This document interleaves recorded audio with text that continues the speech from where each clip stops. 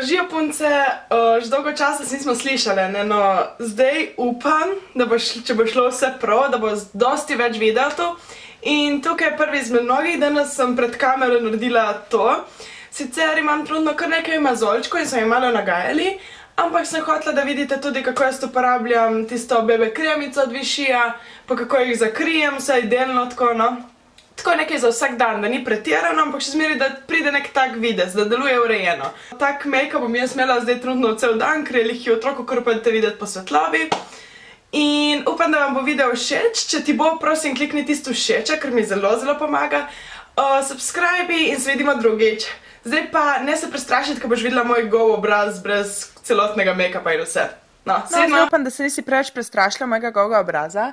Um, vedno malo hrapo uh, glasu, pa da te ne preveč moti. In prvi voiceover je, tako da mi je vse oproščeno. Ne? No, najprej, kot si videla, sem uporabljala svojo višji BB Clear uh, kremico in uporabljala sem jo z Beauty Blenderjem, ker sem ga predtem navlažila. In res sem probala čim bolj tapkati noter in ne dejansko zabrisovati, ker tisto znajo povzročiti kar še dodatne mazolčke, pa pač znajo iritirati kožo kar precej. Potem tam, kjer so bili vidni še dodatni mazolčki, boš videla, sem uporabila Max Factor Pen Stick tekočo podlago oziroma tekočo kremno. Uh, z Real Techniques uh, čopičem, žal sem, se mi je ime že zbrisalo na tistem ta velikem. In potem pač zmeri, kar sem šla čez, karkoli naredim na obrazu, vedno uporabim uh, Beauty Blender, da malo zabrišem, no tukaj jih uporabljam, zdaj lahko vidiš.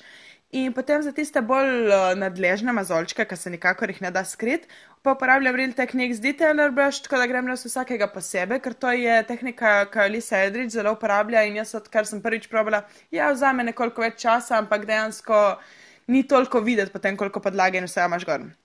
Kukor sem nekaj, vedno se zabrišem z vlažnim beauty blenderjem. Eh, potem moja mala skrivnost, boš videla jo, je to, da vmes uporabimo dlaro še pozej termalno vodo, tako da nekako se vse upije v kožo, oziroma ne upije, nekako se vse zablenda in deluje kot tis Mac, uh, Mac Fix Plus, s tem, da tistega sem ga že gledala, ampak nisem hodila kupiti, zato ker ni lik za tako kožo, kot jo imam jaz. Uh, no, potem sem uporabljal od Freedom Correct, uh, Corrector Palette z Real Techniques uh, Detail Brushom.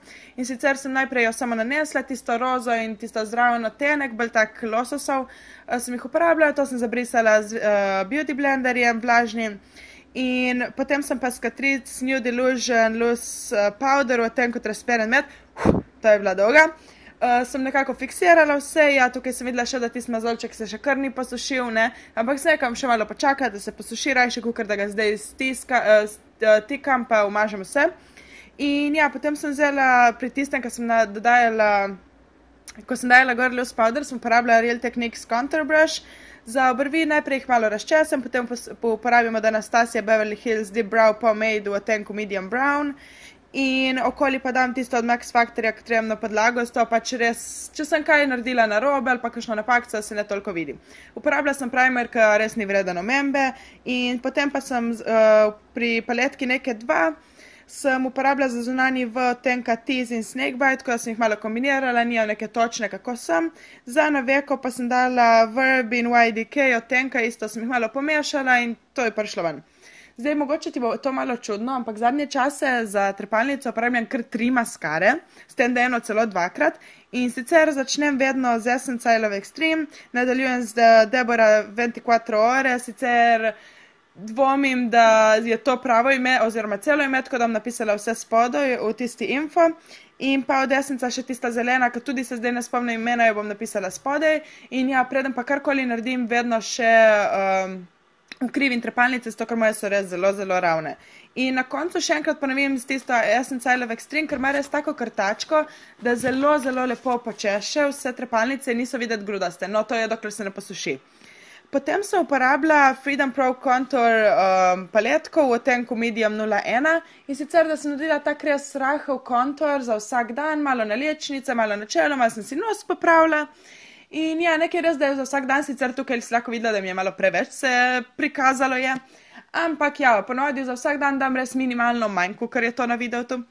Um, no, potem sem uporabljala tako, da se ni videlo toliko tega kontorja od Essence uh, Limited Edition rdečilo in sicer nekakšen bolj marelica, tenek, ne vem več točno, kako je, ker je bilo že kar nekaj časa nazaj ta Limited Edition. In na koncu sem še za ustnice uporabljala lip liner od uh, Debora v otenku 03, ki je moj najljubši, in pa od Essence The Mad Gloss v otenku Soft Nude. Um, in zdaj, čez slabih pet sekund, pa se bomo slišali in bom spet vam težila. Štiri, tri, no, dva. No, punce, spet jaz um, upam, da vam je bil video všeč. Mene mi ga je bilo zelo dobro posnet, sicer ste lahko videli, da sem jaz tudi pela, si, ker sem imela musko, pa mati je prišla pod kopo, si tega smo navajene, ne? O, če ne, kako mi je všeč moja frizurca? jaz, da bi se kar pogovarjala, ker tako dolgo nisem bila pred kamero. Ampak zdaj upam, da bom še dosti več lahko pred kamero, kot vidite, sem tudi dosti bolj sproščena, zato ker pozitivno gledam dalje, da zdaj bom lahko bolj, zato ker sem namreč dobila nov računalnik, kar pomeni, da bom lahko dosti več editirala, da bom lahko sama editirala, sama vse delala. Sicer ja, sem mogla še malo naučiti, ampak upam, da bom. Torej, če ti video všeč, že poznaš celoten proces, ne? Všeč mi je, subscribe, mogoče deli, če komu pomaga, eh, če bi kdo rad videl, kako si je bebe kremica zgleda gor, pač tudi deli, ne bom nič jezna. Um, in se vidimo drugi. Čau, čau!